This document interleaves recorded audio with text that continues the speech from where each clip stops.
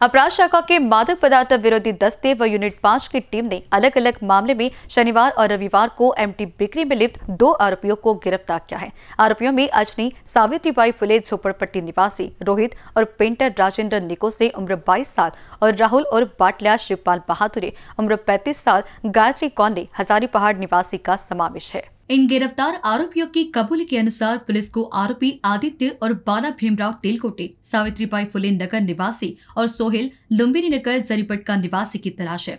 चौदह सितंबर की शाम यूनिट पाँच की टीम अजनी के विश्वकर्मा नगर में पेट्रोलिंग करी थी और इस दौरान पुलिस को दोपहिया पर एक संदिग्ध युवक दिखा।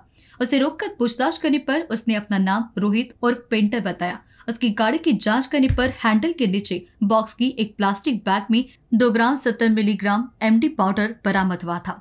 दूसरी घटना गिट्टी खदान थाने के तहत हजारी पहाड़ इलाके में 15 सितंबर को तड़के साढ़े तीन बजे हुई। मादक पदार्थ विरोधी दस्ते को गायत्री कॉलोनी की आदित्य एंटरप्राइजेस के सामने एमडी पाउडर की खरीदी बिक्री होने की खबर मिली थी। पुलिस ने शनिवार देर रात सवा बजे से घटनास्थल पर निगरानी रखी। आरोपी राहुल और बाटला के पहुँचने पर उसे हिरासत में जाँच करने पर उसके पास से 12 ग्राम एमटी पाउडर, इलेक्ट्रॉनिक वज़न काटा और मोबाइल सहित एक लाख तीस हज़ार रूपए का सामान जब्त किया गया है।